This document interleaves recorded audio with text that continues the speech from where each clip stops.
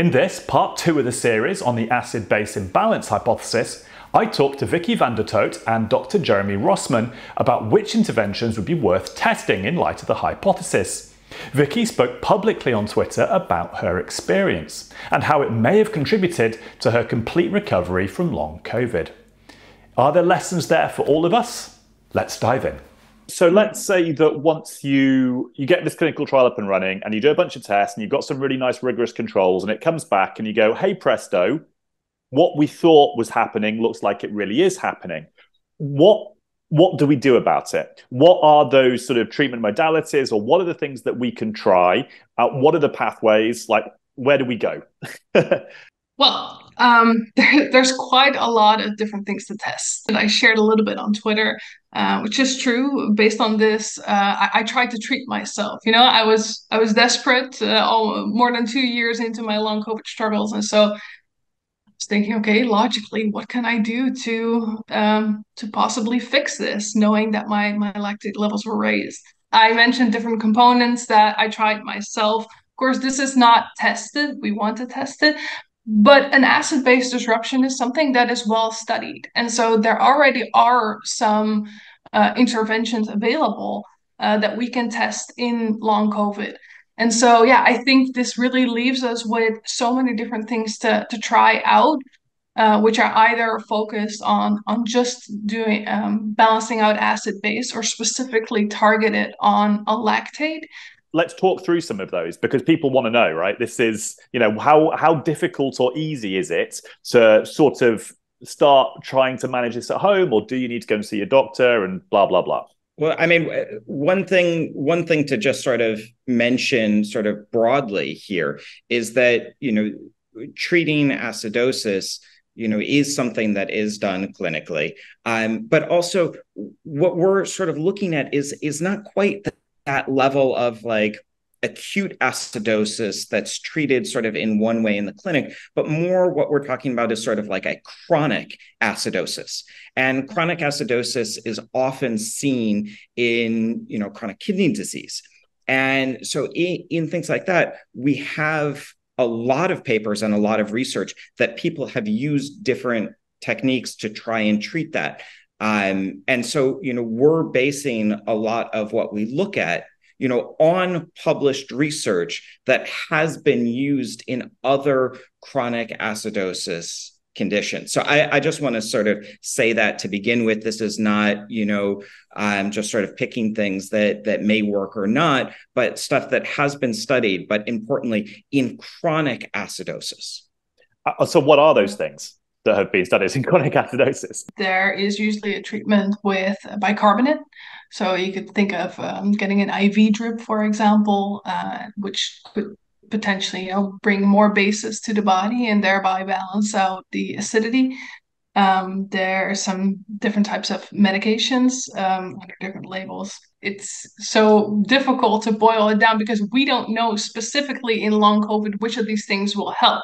Because I feel like it's important to mention here that because you have this compensatory mechanism going on, whenever you try to add too many bases to the body in one time, you may actually get this compensatory mechanism. So instead of having alka- uh, acidosis, you may actually switch to alkalosis. And so, of course, that brings on a whole new set of issues. And so, this is not as easy as just, you know, getting an IV and getting a whole lot of base into the body because yeah, you may actually shift the whole time between acidosis and alkalosis without actually being able to treat the problem. And so, you know, just in terms of what I have done, knowing that is I try to slowly lower the amount of acid in my body. And so, uh, you know, you asked, I'm just going to give it a couple of details and, on what I tried. Um, and so my thought was, well, you can get rid of all this excess acid potentially through the urine. So I dramatically increased my water intake and added electrolytes to every single glass of water that I drank and so thereby increasing the amount of bases um, and you know making sure that I have to go to the bathroom a whole lot of times. And every time it was almost like this victory, you know, every time you go to the bathroom, yes, got rid of a little bit of excess acid. Um, got a little bit weird there. Um, and then, um, you know, diet, um, in terms of diet, dramatically increased the amount of vegetables that I had, as well as, you know, looking at ways of eliminating the amount of acid producing foods. So this is also something that has been tried in chronic kidney disease. There's a couple of papers on this um, on a low PRAL diet. And so that's PRAL is the potential renal, uh, renal acid load of a diet. And so yeah, for every type of food, there's this calculated number um, of the, the acid load that it holds. And so, based on that, you can either have something that is high acid producing, such as meat and dairy and grains um, and high protein foods, or something that is more base producing. Uh, and so, low PRAL, such as most vegetables, uh, some nuts, most fruits. Um, and so, by balancing that out, I thought, well, if it's been tried in chronic kidney disease, it could potentially help me. Uh, and so I tried out this this diet as well, and it really served me well. Um, as well as you know this breathing, because breathing is a compensatory mechanism. I was like, well, if I can shift from automatic breathing to conscious breathing, um, I could potentially keep that in check. And so I really tried to remind myself nonstop um, to do this conscious breathing. So instead of switching to like a maybe like a type of hyperventilation, constantly reminding myself like, okay, deep breathing, making sure that everything stays steady. And then there's movement. Potentially, you know, there there could be acid getting kind of like stuck in certain places because you can have localized acidosis. And so by both doing lymph drainage um, as well as you know doing these gentle stretches, uh, not just once but really all throughout the day, could potentially get it out of certain tissues. And so by kind of combining all these different things, I quickly started improving. And so I feel like yeah, I have to say this is for me. Doesn't mean that it's going to work for everyone. I know it sounds really simple, even though it wasn't but yeah, this is a way of slowly um, bringing down that acid level. And I think slowly is really the key word here and, and what may be the the answer to this, the, the way to kind of like break that feedback loop. So how long ago did you start doing this? And how um, how have your have the improvements been sustained and what are you able to like how much improvement has there been are you able to do things now that you couldn't do before you know, are you able to exercise? Where are you at?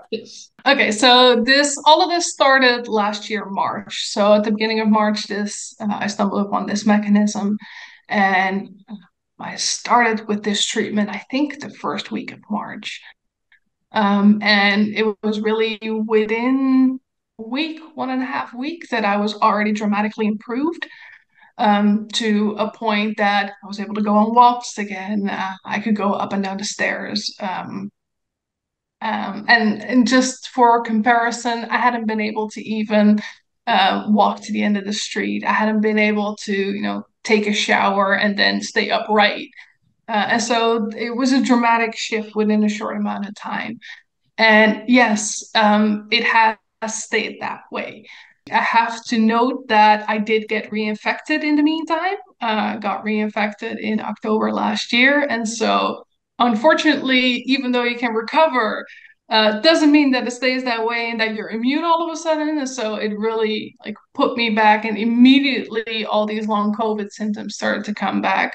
But also now knowing what I had to do to to get better, I immediately you know upped the all the things, all the those different aspects that I just mentioned, uh, those different components to the treatment, and I was able to recover again. And so, yes, um, I'm doing great. I can actually do everything again. I work full time. Um, I work out. Um, yeah, it's uh, it's been fantastic after being sick for so long. I'm really happy to hear that. Well, oh, congratulations. Is that the right word? I don't know, but I'm Thank really you. happy for you. yeah, I'm, really I'm happy happy to see it. yeah. Um, so, so one one question just pops to mind. If anybody watching this thinks, okay, can I go to my? Is it if I go to my doctor? Is there anything I can ask for that would be useful in terms of indica- indicating whether this might be a problem? Bearing in mind that a normal set of bloods might just come back normal. Is there any like what can they do that might shine some light on whether they might be, you know, suffering like this? You know you do have that issue that you know first of all this hasn't been proven. So you know we can't say for sure that you know this is going to hold up all the way down the line but also that you know with that variability you don't you know really know. But you know we have heard of patients going in to get that blood test and you could get you know lactate tested you could get you know ph tested. Um, and sometimes that does show an effect you know, sometimes if you're doing home testing, you can actually bring that to your doctor. You can actually talk about what's going on and what you're seeing. And if you're actually consistently seeing numbers that are very concerning, then, you know, that may be an actionable point. But of course, you know, this is a hypothesis. So, you know, if we were able to show, yes, this happens or this happens in, you know, maybe just this cohort of patients or maybe just happens in these circumstances or maybe is universal then you know you you would have a much better basis to go into your doctor and to you know say okay i would like this test. Um you know so there there is a little bit more but it's it's also a little bit vague right now. And in terms of treatment you know the the same thing is true. You know first of all you know if somebody's going in for chronic kidney disease and looking for acidosis there's not a standard of care. You know there's not like a pill. You know people tend to want you know a pill a prescription something that they can just take they can take it for a week like an antibiotic or something like that and be done. And you know with acidosis it doesn't tend to be like that. You know maybe if you were able to cure the underlying issue but with this it's a little bit more we're trying to figure out we're trying to make longer term changes. Um, and we also don't know is the virus still there? Is persistent virus or persistent viral protein still there? And always sort of waiting to potentially cause problems or not. You know that's that's a huge unanswered question. So it, it's a little bit difficult to say what you could ask for or do in the clinic there's some but we're we're really trying to get that clinical trial data so that we can arm patients with more information and more direct action so, one final question for both of you. If Elon Musk came along and said, right, each of you can have a million dollars to research whatever, or $10 million to research whatever you want in the field of long COVID, what would you want to do? I'm happy that you changed it from one to 10 because clinical trials are really expensive. And Yeah. for one, we could get our clinical trial done. Uh, but for 10, we can do a lot more. First, do this whole clinical trial, of course. But what I would be most curious about is I would like to test the treatment as I did it, just on its own. Um, but I would like to see if uh, a combination of the, the treatments that are already being tried with um, treating the acid base imbalance um, could actually provide full recovery for some that may not respond well to the treatment that helped me so much. Uh, I think that could be really a key here. And then as a secondary, because we have 10 million, right? I would like to see specifically more elaborately what the effects of acid base imbalance on the brain are and on potentially mental health effects as well. Mm. Yeah, agreed. I mean, what's really interesting about this whole theory is how it does explain a bunch of the stuff that we've been seeing that's weird, whether it's this, you know, hyperventilation. You know, like why are our, why is our breathing so shallow and odd until you start getting control of it? Why Mhm. is breath work so effective? Well, actually, it might Yeah. just be compensating for some of this stuff. You know, why are we Yeah. seeing the rates of, you know, not just cognitive dysfunction and memory and visual and spatial processing, um, but also anxiety and depression and all of this too, right? Could you know acid base somewhere in the CNS or the brain be causing that? So huge, huge subjects. Um, Jeremy, uh, ten Yeah. million dollars. What do you spend it on? So, I mean, first of all, I would say basically, if we had $10 million to, to go research this, we would do what we're doing. We would just do it larger. But of course, you hmm. know, with a lot of this clinical trial, you don't just jump into that final thing. You got to sort of slowly, iteratively go. So we need to get that data to show that this is going on. And then we want to go and test in different interventions. I really think that combination of different interventions is something that that could be really important. You know, looking at clotting, looking at inflammation, looking at acidosis, but maybe also even adding things in like Paxlovid that is being tested right now. Yeah if there is an effect of persistent virus. So that combination is really important, but also expand that to as wide a range as patients as we can. Look for a large number of patients, look for different subsets of long COVID, look at what's going on in ME, look at other sort of chronic conditions. And then maybe if we have a little money left over, also look at some of the molecular mechanisms going on here, trying to really yes. dive in to understand all the details of how this is being caused, because that also offers more intervention points. Agreed. Fascinating subject. Thank you both so much for your work. And I think it's really exciting. And I look forward to hearing more about your research. Hope you found that enlightening and helpful. I will be checking back in with Vicky and Jeremy once there's more to report on their trials. Next up, I'll be talking to Dr. Jordan Vaughan about his experiences in diagnosing and treating abnormal clotting in long COVID. Look after yourselves. Until next time.